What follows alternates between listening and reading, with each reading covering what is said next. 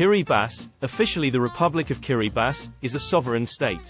Comprising 33 atolls and reef islands dispersed over 3.5 million square kilometers in the central Pacific Ocean. Kiribati is known for its rich marine biodiversity, including coral reefs, diverse fish species, and seabird colonies. Making it a popular destination for ecotourism and marine research. Despite its remote location, Kiribati has a vibrant culture with traditional practices such as music, dance, and storytelling, often showcasing the history and legends of the islands. Palau, officially the Republic of Palau, is an island country located in the western Pacific Ocean.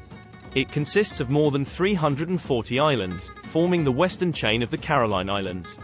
Palau is renowned for its pristine natural beauty, including crystal clear waters, lush tropical forests, and vibrant coral reefs. Attracting tourists from around the world for diving, snorkeling, and ecotourism.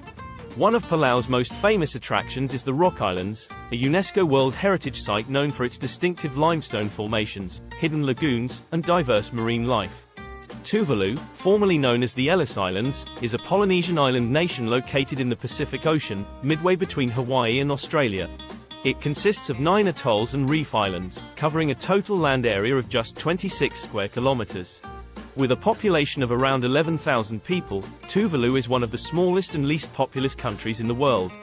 The majority of the population resides on the main atoll of Funafuti, Tuvalu is renowned for its pristine marine environment, with diverse coral reefs, abundant marine life, and turquoise lagoons.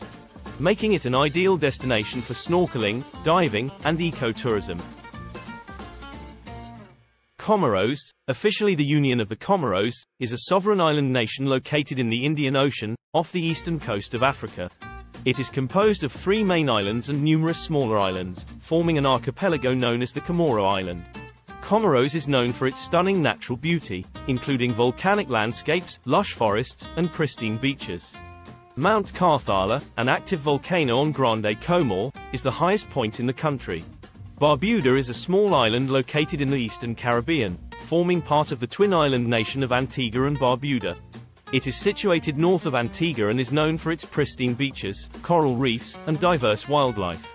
The island is a haven for birdwatchers and nature enthusiasts, with numerous species of birds, including frigate birds, terns, and pelicans, inhabiting its shores and wetlands.